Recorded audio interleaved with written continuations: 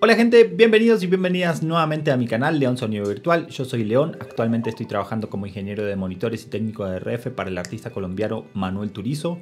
También doy cursos online y clases particulares en www.leonsonidovirtual.com y también programo aplicaciones para audio en vivo, así que te invito a que pases por los links que voy a dejar en la descripción de este video para que puedas acceder a toda esta información. En el video de hoy vamos a hablar sobre los Dante Avio estos dispositivos de la marca Audinate. Tengo varios por acá, tengo una consola con tarjeta Dante, tengo computadora, tengo algunas cositas como para que podamos configurar y, ver cuáles son las posibilidades que nos permiten cualquiera de estas interfaces o adaptadores, mejor dicho. Pero en este video puntualmente vamos a ver un review, vamos a ver qué necesitamos, qué herramientas necesitamos, cómo lo vamos a conectar, direcciones IP, etcétera. Y ya en videos posteriores vamos a entrar más en detalle de ejemplos, ¿no? de conectarlo solamente a la computadora, de conectarlo en una red con, la consola y poder hacer envíos, ruteos, etcétera. Eso lo vamos a ver en un video posterior, pero es importante que en este video veamos y hablemos un poquito de, de cómo funcionan estos dispositivos. Así que arranquemos con el video.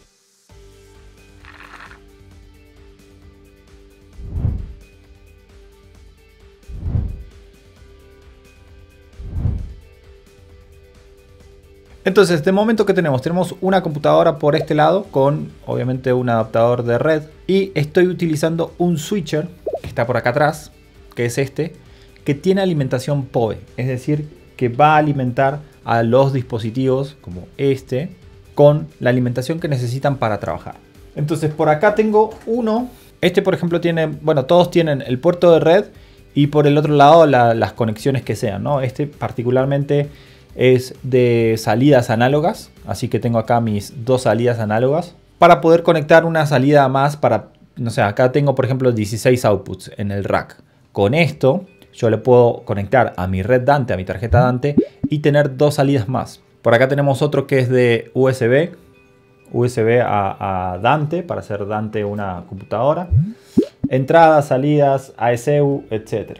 La primera cosa a tener en cuenta es que necesitamos alimentación para estos dispositivos. Si vas a conectar varios dispositivos, quizás la opción esta del switch con PoE es una buena opción porque vas a poder conectar varios. En este caso yo podría conectar hasta cuatro dispositivos del Dante Avio en este switch y el otro switch porque tiene cinco entradas, pero solamente cuatro proveen de la alimentación PoE el quinto no. Entonces el quinto lo conectamos a la computadora o a la red Dante y en los otros cuatro sí podríamos conectar dispositivos de Dante Avio y de esa manera estaríamos alimentándolos para que bueno, puedan encender, ¿no? Por otro lado necesitamos equipamiento Dante, ya sea que tengas una tarjeta Dante como tengo acá en mi Allen Heat o que tengas una computadora solamente que no tengas ninguna consola, no tengas ninguna tarjeta, pero que tengas una computadora vas a necesitar la Virtual Sound Card de Dante y el Dante Controller para poder utilizar este sistema. Esas son las dos consideraciones más importantes a tener en cuenta cuando vayas a adquirir uno de estos productos, ¿no? Otra cosa es las direcciones IP. Yo, por ejemplo, cuando estoy tureando, voy con este set, con esta, esta es mi, mi superficie de control, que ahí se ve una de las pantallas. Acá adentro tengo mi switch, tengo ciertas cosas conectadas, etc. Y desde esta misma computadora yo me conecto al rack para operarla y también me conecto a los micrófonos, a la red Dante y a una serie de cosas más para tener todo el control en esta única computadora. Y ahí empieza a entrar en juego, en mi caso, las direcciones IP. Yo necesito direcciones IP fijas para poder utilizar el rack. Entonces, si voy a hacer toda una conexión de, network en una sola computadora y tiene esta computadora una dirección IP fija, necesito que todos los equipamientos que yo vaya a conectar estén con dirección IP fijas. El que sea, no automática porque si no, no lo puedo... Sí lo podría ver, pero no lo podría controlar, no podría tener acceso a ciertas cosas. Entonces en mi caso yo tengo todo con dirección IP fijas. Y vamos a ver ahora en la computadora cómo configurar esa dirección IP. Pero hagamos una conexión de simplemente a la computadora. Vamos a conectar este dispositivo a la computadora. Acá tengo un cable de red que lo voy a conectar en el puerto de red y estos dos eh, y estas dos salidas lo voy a conectar al canal 1 y 2 de mi rack para que podamos ver de repente ahí en, en los búmetros señal. Acá podemos ver que ya las luces están titilando, que ya prendió el dispositivo. En el Dante Controller, en la sección de Device Info, yo ya veo mi, mi Avio, pero como tiene una dirección IP fija manual, que yo ya se la puse anteriormente para, poder utilizarla, eh, me lo marca en rojo como que no podría estar trabajando con ella. Acá no me aparece, fíjense. Y acá tengo el Dante Virtual Sound Card. Le estoy asignando el puerto USB, que bueno, es un USB-C a Network en este caso. Y me da la información del IP address, etc. ¿no? Acá puedo configurar cuántos canales quiero utilizar, la latencia que va a tener la Virtual Sound Card, o sea, la computadora. Entonces, en este caso yo no me estoy conectando a la red Dante de la consola. Yo solamente estoy entrando con mis, mis salidas del Avio, lo estoy conectando a los input análogos de la consola, pero no estamos hablando el lenguaje Dante en la consola puntualmente. Entonces voy a darle Start a la Dante Virtual Sound Card.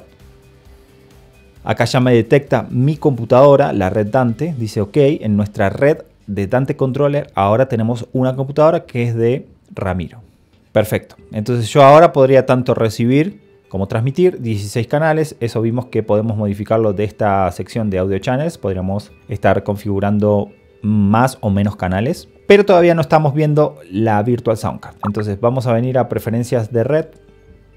Y en el USB, que lo tenemos por DHCP, vamos a decirle que manual y le voy a poner la dirección manual que tengo normalmente en mi red de network eh, que uso yo para trabajar.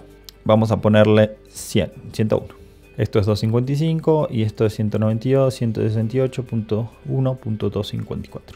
Aplicamos. Refrescamos por acá. Y ahora ya estoy, ya no estoy viendo en rojito el labio, ya lo estoy viendo acá. El clock estamos teniendo problemas. Y ahí estamos. Después de, unos segunditos que se demoró el sistema en, en leer toda la información, ya tenemos direcciones IP fijas. La dirección IP del Dante Avio es termina en 90 y la computadora termina en 101. Entonces, listo, acá tendríamos, entonces, ahora, ¿qué podemos hacer? Este Dante Avio, como es de output, no puede enviar información, no puede transmitir información, por eso no me aparece en esta sección, solamente puede recibir información. Entonces lo que yo puedo hacer es, desde la computadora, desde los, canales virtuales de la computadora, puedo enviarle señal a los canales eh, Dante de labio que los va a convertir en salidas analógicas. Entonces, si vos, por ejemplo, sos em, de video, sos de DJ, sos em, cualquier persona que esté utilizando una computadora para transmitir audio y no tiene una interfaz de audio como tal, podría estar adquiriendo los outputs, esta, esta Dante Avio de outputs, para por medio de Red Dante, estar convirtiendo tu computadora a dos salidas analógicas. Entonces vamos a rutear, vamos a decirle que el output 1 y 2 de la computadora vayan al channel 1 y al channel 2, o sea, las dos salidas Dante del Avio. Y acá en este punto yo estoy reproduciendo música y ya vemos en la consola que está recibiéndolo. Lo está recibiendo muy fuerte, entonces lo que podríamos hacer es venir a doble clic acá en el labio, ir a la configuración de control y bajar, por ejemplo, a 0. Ahí bajó el nivel. Bueno, en, en este punto vamos a dejarlo en más 4 default Y lo que voy a hacer es bajar el pre de la consola.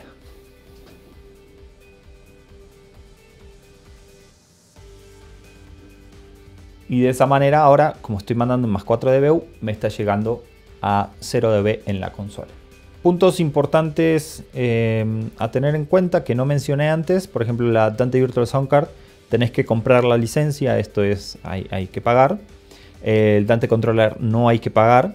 Entonces el Dante Controller es para hacer estos ruteos de toda tu red Dante. Esto es gratuito. Por ejemplo, si yo en la consola estoy utilizando todos sistemas dispositivos Dante que ya adquirí, en ese caso no tengo que comprar la Dante Virtual Sound Card y puedo utilizar el Dante Controller y podría estar viendo todos esos dispositivos. El Dante Virtual Sound Card es para que tu computadora pueda entender y pueda conectarse a esta red Dante también para poder hacer estos ruteos que acá estoy mandando desde la computadora hacia el Avio. Otra cosa importante que para que esto funcione como me está funcionando a mí, tenés que ir a preferencias del sistema, ir a sonido y seleccionar la Dante Virtual Sound Card como dispositivo de salida y seleccionarlo también en la entrada Dante Virtual Sound Card si fuera que vas a utilizar las entradas. Si yo acá selecciono MacBook Pro bocinas, la música que estoy reproduciendo va a salir por la computadora y ya no la estoy recibiendo en la consola.